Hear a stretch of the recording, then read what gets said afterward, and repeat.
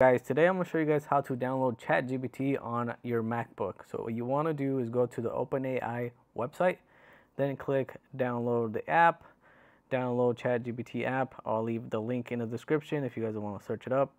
And then scroll down and here it says download for Mac and then Apple Store and the Play Store um, for Android and iOS, iPhone.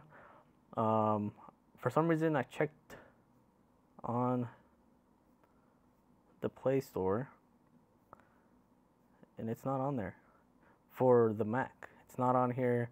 Um, you have to download it through the web. I'm not sure why. But you just click download. Once it's once it's done downloading, it will be in here. Click open and then just drag this over here.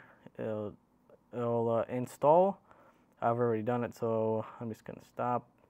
And then this is what it should look like. Bam. You got the ChatGPT app. Now, I hope this helped you out. Like and subscribe, and I'll catch you in the next one. Later.